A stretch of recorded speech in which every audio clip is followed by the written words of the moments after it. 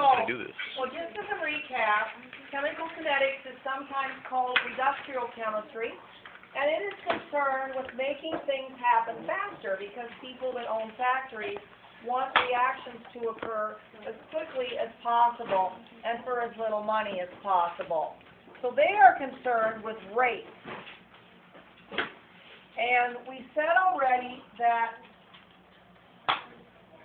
to have a, to have a reaction at all, two things gotta bump into each other. Two atoms have to hit each other, and they have to hit each other at the right angle and with the right amount of energy. And the things that affect rate, and you saw these also on your state standards, are what your reactants are like, little bitty molecules react faster than large organic molecules, concentration. If we have two or three people running around in a gym, they probably don't bump into each other. If you put three thousand people on a gym floor, they pretty much do bump into each other.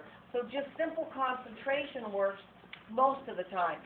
Temperature, because temperature is how fast molecules are moving. If you put a hundred people on a gym floor and tell them to walk real slow and not bump into each other, they won't. But if you put a hundred people on a gym floor, but they all gotta run as fast as they can, the chances that they're gonna inadvertently bump into each other increases. So this is why temperature works to help ensure that reactions happen. And finally, the use of catalysts. But we're gonna look at these things in order of what costs the least, because that's the way a chemist would look at it who worked in industry. So first of all, we're gonna take a look at concentration.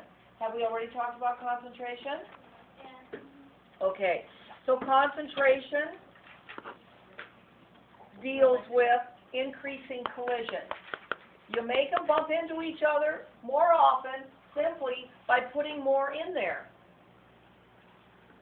One of the factors that affects, however, bumping into each other is whether your solution is homogeneous or heterogeneous. Homogeneous means they're all in the same phase, they're all in the same state of matter. But suppose they're not. Suppose they are in several different states of matter. For example, suppose one of your reactants is a solid and one is a gas. You can make it more sure that a reaction happens by powdering your solid. That gives you more surface area. How about a gas and a liquid? For a gas and a liquid to be assured of reacting, the gas sits on top of the liquid, right? Right. So you have to force the gas into the liquid to make the reaction happen. Where do we see that? All the time. Where does that happen all the time? In the internal combustion engine. In the, in the cylinder. Don't you have a gas intake and an air intake? And you have your gasoline at the bottom of the cylinder, the air sits on top, the piston comes down. Why does it come down? To force the gas into the gasoline. I am. In the cylinder of an internal combustion engine. Oh. Oh, that's the, that's the obvious example of, of a gas and a liquid existing together, but you make, you help ensure that the reaction happens by forcing the gas into the liquid.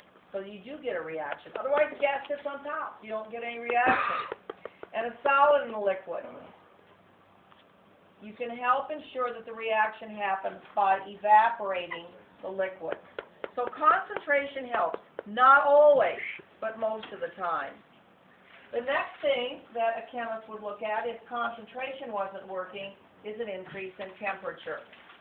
Temperature always works. Mm-hmm. However, do we use temperature all the time? No, that's our second